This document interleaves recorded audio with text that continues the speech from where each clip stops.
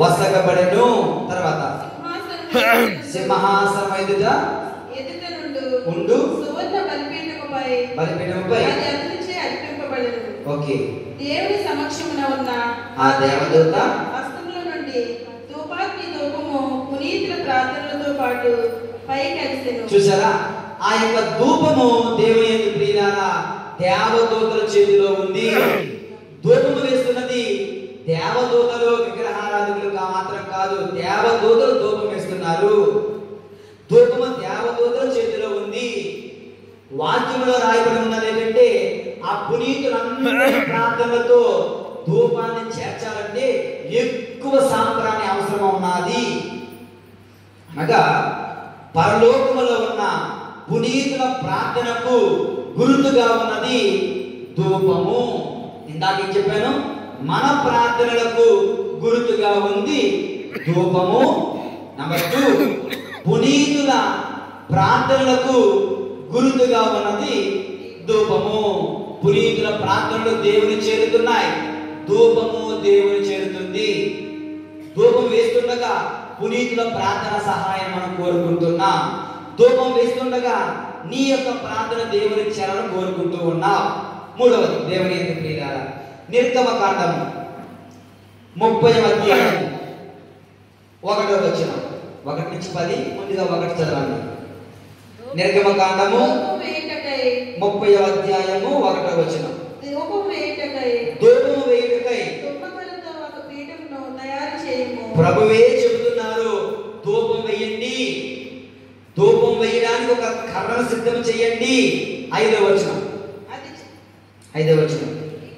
కొయ్యలను ఈ కొయ్యలను తుమ్మకలతో చేయించి వారికి బంగారం కూడా కొరగాలి. నేను ఏడో వచనం ఏడో వచనం.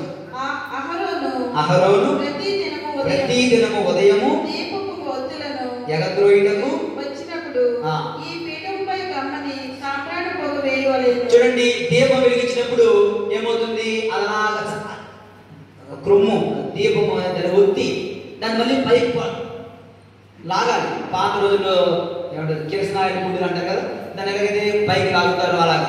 అది వేసి అలా తొయ్యడానికి వచ్చినప్పుడు కొంచెం సాంబ్రాన్ని వేసి వెళ్ళాలి అని ప్రభు చెప్తున్నారు. అహరోనికి యొక్క బాధ్యతగా చెప్తున్నారు దేవుని ఎన్ని ప్రియుల ఎనిమిదో వచ్చి చదవం సాయంకాలం మరలా. వచ్చినప్పుడు.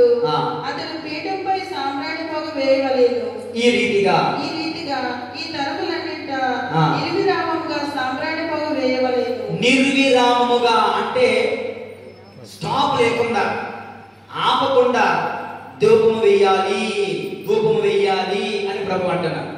ఇప్పుడు మనం ఎవరైనా ఇతర సంఘాల అడిగామనుకో ఏమన్నా తెలుసా? వెంటనే ఆ పాత్ర మనంతా క్యాన్సిల్ చేస్తే వేస్తూ వచ్చి. మరి పదార్థాలు క్యాన్సిల్ కదా? అలా కాదు. ఇది దేవుని యొక్క ఆదేశము దేవుని యొక్క ప్రియమైన సహోదరి సహోదరులారా. ఇది దేవుని యొక్క కోరిక. అనగా ఒకటి నీ ప్రార్థనలకు గుర్తుగా ఉంది. రెండు పునీతుల ప్రార్థన సహాయం కోరడానికి గుర్తుగా ఉంది.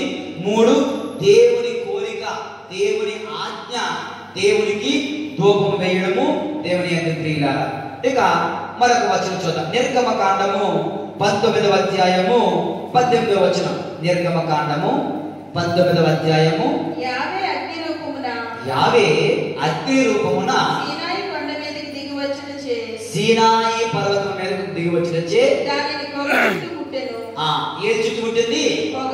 ఏది? హలో అందరూ హలో. హలో. హాయ్ అన్నాడు కదా hello. Hello. Hi father. Okay దేశవావందన ప్రైజ్లో హల్లెలూయా. హల్లెలూయా. హల్లెలూయా. హల్లెలూయా నాకు తెలుసు కథలు చెప్తే రెండు చెవులు రిక్కించుకొని వింటారు?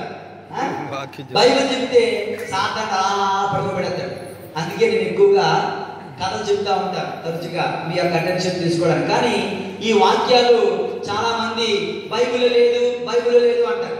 అన్ని బైబిల్లో ఉన్నాయి. క్యాథలిక్ చర్చ్ కథోలిక సాంప్రదాయం పాటించే ప్రతి ఆచారం అడుగడుగు కూడా బైబిల్లో నుంచి తీసుకోబడిందే దేవుని ఎందుకు ప్రియమైన సహోదరి సహోదరులారా. ఇక్కడ నిర్గమ కాండములో దేవుడు ఆ యొక్క పర్వతం మీదకి రాగానే ఆ యొక్క పర్వతం అంతా కూడా ధూపముతో నింపు పొగతో నింపబడిందంటే దేవుని ఎందు ప్రియమైన సహోదరి సహోదరులారా. కొలిమి పొగ వలె కొండ నుండి పొగ పైకి లేచెను. కొండ అంతయు దద్దరిల్లెను ఎక్కడైతే పొగ ఉంటుందో? ముఖ్యంగా సాంప్రాణి పొగ. దేవుని యొక్క సాన్నిధ్యానికి సన్నిధికి గుర్తుగా ఉంది. నీ ప్రార్థనలకు పునీతుల ప్రార్థనలకు దేవుని ఆజ్ఞ నెరవేర్చడానికి దేవుని సన్నిధి కోరడానికి దేవుని సన్నిధి వస్తుంది. ధూపం వేయడం ద్వారా దేవుని యొక్క ప్రియమైన సహోదరి సహోదరులారా ఇక దేవుని ఆరాధన గుర్తుగా ఉంది. యోషియా గ్రంథము ఆరవ అధ్యాయము మూడు నాలుగు వచ్చిన యోషియా గ్రంథము ఆరవ అధ్యాయము మూడు నాలుగు వచనాలలో ఆ దేవదూతలు ఒకరితోనొకరు ఈ విధంగా చెబుతున్నారంట. నా తర్వాత చెప్పండి అందరూ. సర్వశక్తిమంతుడైన ప్రభువు సర్వశక్తిమంతుడైన ప్రభు అందరూ గట్టిగా పవిత్రుడు. పవిత్రుడు.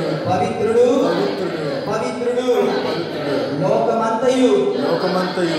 అతని మహిమతో అతని మహిమతో నిండి ఉన్నది. నిండి ఉన్నది. అని ఎలుగెత్తి పలుకుచుండేది అది ఎలుగెత్తి పలుకుతుంది ఆ శబ్దమునకు ఆ శబ్దమునకు దేవాలయపు పునాదులు దేవాలయపు పునాదులు కంపించెను. పంపించెను దేవాలయము దేవాలయము పొగతో నిండెను. పొగతో నిండెను. మరొకసారి నిర్గమకాండం నుంచి యషియా గ్రంథం చూసినట్లయితే యషియాకు దైవ దర్శనం కలిగింది. ఆ దైవ దర్శనంలో దేవాలయం మొత్తం కూడా పొగతో నింపబడి ఉంది. సాంబ్రాణి పొగతో. దేవదూతలే ఆ సాంబ్రాణి పొగ వేస్తున్నారు. ధూపముతో వేస్తున్నారు. ధూపముతో ఆరాధన. దీపముతో ఆరాధన. పుష్పముతో ఆరాధన. అన్నట్లుగా ధూప ధూపము ఆరాధనకు గుర్తుగా ఉంది. ధూపము దేవుని సన్నిధికి గుర్తుగా ఉంది. ధూపము నీ ప్రార్థనకు గుర్తుగా ఉంది. ధూపము పునీతుల ప్రార్థనకు గుర్తుగా ఉంది. దేవుని యందు ప్రియులారా ఇక నూతన నిబంధనలో ధూపము ఎక్కడ ఉంది?